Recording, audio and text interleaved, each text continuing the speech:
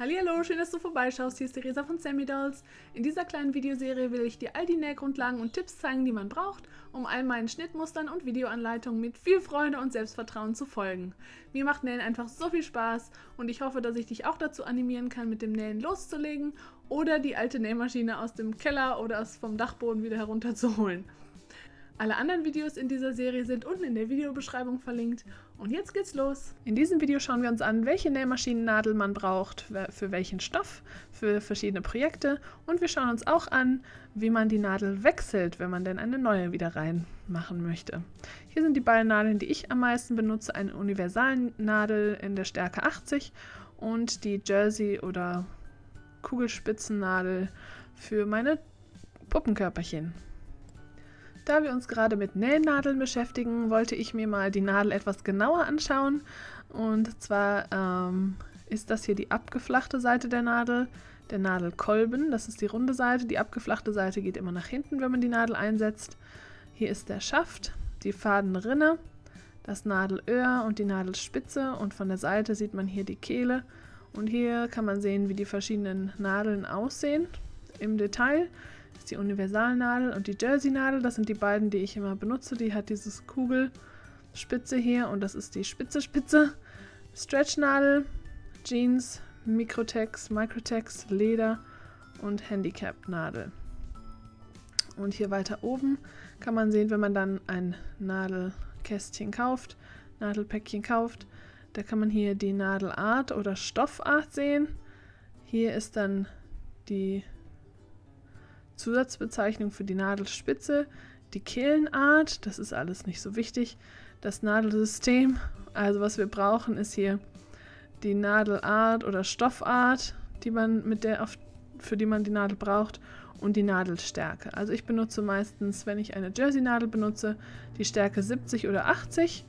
Ähm, 70, wenn ich möchte, dass wenn der Jersey eben feiner ist oder wenn ich dünne, kleinere Stiche haben möchte, aber 80 ist eigentlich eine gute mittlere Größe. Dann gibt es hier noch das Schmetz-Nadel-ABC. Ich werde all diese Links hier auch unten im Video verlinken, damit ihr euch das nochmal genauer anschauen könnt. Hier gibt es dann die verschiedenen Nadeln. Ähm, die Universalnadel, die benutze ich meistens für meine Baumwollstoffe, für Puppenkleider und so weiter. Dann nehme ich auch die Größe 80 kaufe ich immer ein Päckchen mit fünf Nadeln, Größe 80. Das ist eine ganz gute mittlere Größe oder Dicke. Ähm, manchmal benutze ich auch 90 oder sogar 100, wenn ich dickere Stoffe nähe, wenn ich irgendwie ähm, Kissen nähe oder Jeansstoffe oder naja, für Jeansstoffe gibt es auch spezielle Jeansnadeln, aber wenn ich irgendwelche dickeren Sachen, dickere, schwerere Stoffe nähe. Dann gibt es hier die Stretchnadel. Die benutze ich eben auch manchmal, nicht so oft. Meistens die Jersey-Nadeln hier für die Puppenstoffe. Ganz klasse. Größe 80, 70 oder 80 benutze ich meistens dafür. Wenn ihr wollt, könnt ihr euch noch die anderen Sachen alle anschauen, hier für Jeans-Nadeln und so weiter. Ich finde das ganz klasse, dass ich das hier gefunden habe, weil manchmal stehe ich im Geschäft vor den ganzen verschiedenen Nadeln und weiß nicht, was ich aussuchen soll. Ach, hier haben wir auch nochmal verschiedene ähm, Farbkodierungen, die dann bezeichnen, was, was für eine Nadelstärke und Nadelart ähm, es ist. Das muss man vielleicht nicht alles wissen. Aber wer Lust hat, kann sich das hier mal genauer angucken. Dann gibt es noch die Zwillingsnadeln. Die braucht man dann, wenn man eben Zwillingsnadeln nähte, Zwillingsnähte nähen möchte. Und ja, das werde ich auch unten verlinken. Und jetzt wechseln wir die Nadel zusammen. Also nehme ich hier meinen kleinen Schraubenzieher oder ein Geldstück geht auch. Mache hier die Schraube locker. Dann kann ich die Nadel rausziehen. Und dann nehme ich die nächste Nadel, die ich jetzt brauche. Ich setze jetzt eine Jersey-Nadel ein, weil ich gleich einen stretchigen Stoff nähen möchte. Und hier kann man sehen, dass die flache Seite und die runde Kolbenseite.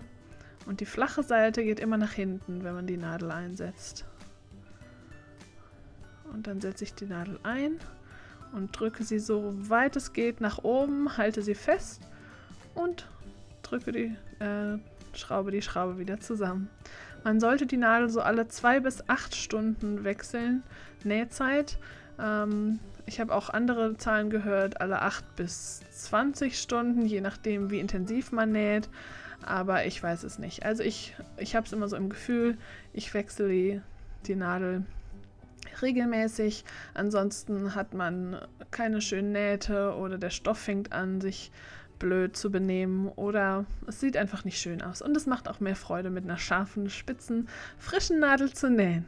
Im nächsten Video schauen wir uns an, welches Nähfüßchen man für welches Projekt braucht und für welche Naht und welche Stichprogramme es alle gibt und wie man das Nähfüßchen wechselt.